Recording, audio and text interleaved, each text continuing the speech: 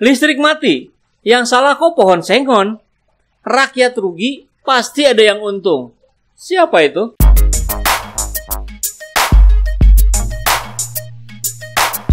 Polisian daerah Jawa Tengah melakukan penelusuran terkait blackout di Jakarta. Salah satunya menyelidiki kasus ledakan di jaringan saluran udara tegangan ekstra tinggi di Semarang yang sempat meledak. Hasil kesimpulan sementara yaitu adanya kerusakan sutet di Gunung Jati Semarang akibat pohon yang terlalu tinggi. Tim yang melakukan penelusuran yaitu di Reskrim Sus Polda Jateng. Dari penelusuran diketahui hari Minggu kemarin sekitar pukul 12.30 PLN Unggaran menerima laporan kalau gardu induk tegangan ekstra tinggi Unggaran mengalami gangguan. Nggak kuat menahan daya beban. Setelah dicek, dan ditelusuri penyebabnya ada di tower transmisi 434 dan 435 di Desa Malon, Kecamatan Gunung Pati, Kota Semarang. Kabid Humas Polda Jateng, Kombes Pol Agus Triatmaja mengatakan, hasil kesimpulan penelusuran yaitu blackout di Jakarta, Jabar, Banten, dan sebagian Jawa Tengah karena peristiwa di Desa Malon. Ia menjelaskan, kerusakan akibat adanya pohon yang melebihi batas right of way setinggi 8,5 meter dan mengakibatkan loncatan listrik atau flash. Timbulnya ledakan bukan akibat sabotase ataupun terorisme, begitu katanya. Nah, ini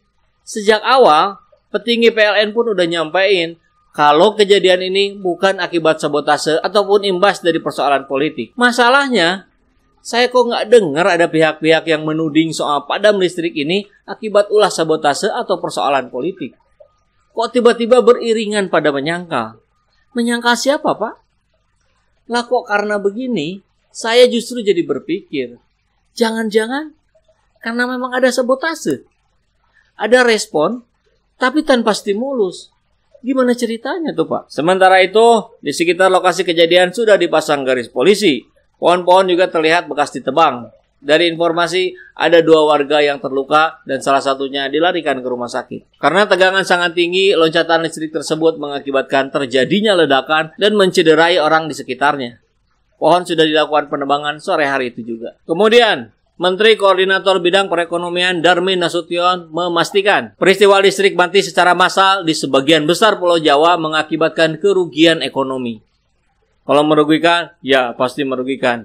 Begitu katanya, tanpa merinci kerugian yang dimaksud itu sejauh apa. Meski demikian, ia meyakini kejadian itu hanya menjadi sementara sebab PT PLN tengah berupaya memperbaiki kondisi tersebut. Ia meyakini hal ini tidak akan mempengaruhi pandangan investor terhadap Indonesia. Sudahlah, listrik itu kan kemarin aja. Mudah-mudahan tidak kejadian lagi. Begitu yang disampaikannya. Apa? Kemarin aja? Wah, Bapak nggak dapat info lengkap nih. Giliran Pak nyalanya. Padamnya. Saya yang di Bandung sampai Senin kemarin digilir per 3 jam pemadamannya Pak. Dan kayaknya sama deh di kota-kota lain di Jawa Barat dan di Jakarta juga. Bahkan katanya Jawa Tengah pun begitu. Dan kalau udah gitu, jelas pasti mempengaruhi pandangan investor ke Indonesia. Aktivitas perekonomian lumpuh, Pak. Ayo, coba Bapak turun langsung ke masyarakat. Cek langsung di lapangan. Sebagai informasi, listrik padam di sejumlah wilayah Jakarta dan sebagian Banten, Jawa Barat, serta Jawa Tengah sekitar pukul 11.48 pada hari Minggu kemarin. Bahkan beberapa wilayah masih padam hingga Senin pagi. Pak Jokowi pun mendatangi kantor pusat PLN Senin kemarin. Jokowi meminta perusahaan listrik negara ini untuk segera menyelesaikan masalah. Dan katanya ngomong begitu sambil marah-marah tuh. Bagus pak, semoga pada tahu tuh kalau Pak Jokowi marahnya beneran bukan settingan, apalagi pencitraan. Iya kan Pak? Sebagai informasi juga, blackout listrik tidak cuma mengakibatkan aliran rumah tangga mati, tetapi juga layanan publik seperti gedung perkantoran dan sebagian pusat perbelanjaan, termasuk retail sejenis Indomaret, Alfamart, belum lagi layanan transportasi publik seperti kereta rel listrik dan MRT Jakarta. Belum diketahui kerugian pelaku industri tersebut. Namun sebagian di antaranya tetap beroperasi dengan menggunakan genset seperti hotel dan restoran. Dari sisi PLN, Direktur Pengadaan Strategis 2 PLN Joko Raharjo Abu Manan memprediksi kerugian yang ditanggung oleh perusahaan berkisar 90 miliar Kerugian berasal dari terhentinya penjualan listrik saat terjadi gangguan. Tapi Kepala Kantor Staf Presiden Muldoko rupanya memastikan pemerintah tidak akan memberikan sanksi kepada pelaksana tugas Direktur Utama PT PLN Sri Penny Inten Cahyani. Di sisi lain, Muldoko juga nggak menanggapi kritik masyarakat yang sempat menyinggung agar Menteri Badan Usaha Milik Negara Rini Sumarno dan PLT Dirut PLN Sri Penny dicopot dari jabatannya.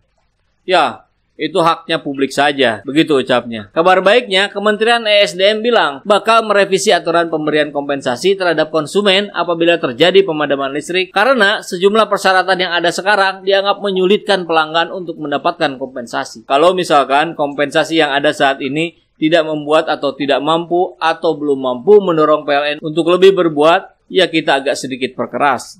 Ini sesuai dengan arahan dari Pak Menteri untuk memberikan cambuk kepada teman-teman PLN biar lebih mampu meningkatkan pelayanannya kepada masyarakat. Begitu yang disampaikan oleh Rida. Perseroan memberikan kompensasi dalam bentuk pengurangan tagihan penggunaan. Rida mencontohkan pemberian kompensasi tadinya mensyaratkan pelanggan yang kena pemadaman harus menghubungi call center PLN. Ini kan tidak adil, itu kami coret. Pokoknya, setiap ada pelanggan yang terdampak dan tahu bahwa itu terjadi sekian jam untuk memenuhi kompensasi, ya harus dibayar tanpa pelanggan harus menghubungi call center. Kemudian dalam aturan lama, kompensasi akan diberikan sebagai pengurang tagihan penggunaan minimal, yaitu 40 jam.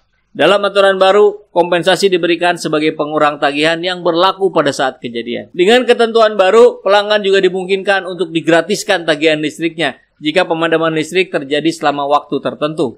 Bahkan, bisa saja PLN membayar pelanggan terkait jika pemadaman melampaui batas tertentu. Kalau matinya kelamaan, saya bisa gratis. Kalau lebih dari itu, berarti PLN yang bayar saya, bukan saya yang bayar PLN.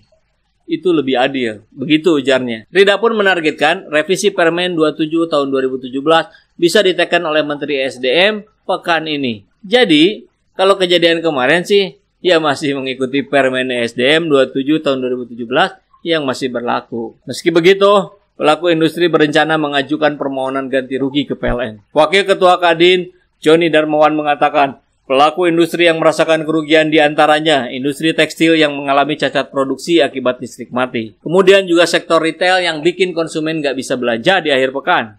Pengusaha ikan yang mengalami kerugian karena akuarium nggak dapat sambungan listrik buat pasokan oksigen. Beberapa industri juga mengalami penurunan produktivitas dan kualitas produk. Khususnya produk yang nggak tahan lama karena lemari pendingin yang nggak berfungsi. Apakah ini tanda untuk saatnya pihak swasta masuk agar masyarakat diberikan pilihan? Atau ini memang siasat agar pihak swasta masuk? Atau, ah, sudahlah.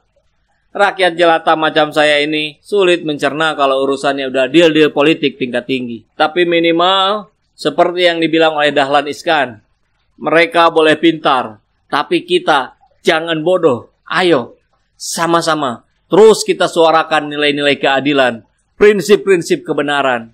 Kalau bukan kita, siapa lagi? Kalau nggak sekarang, kapan lagi?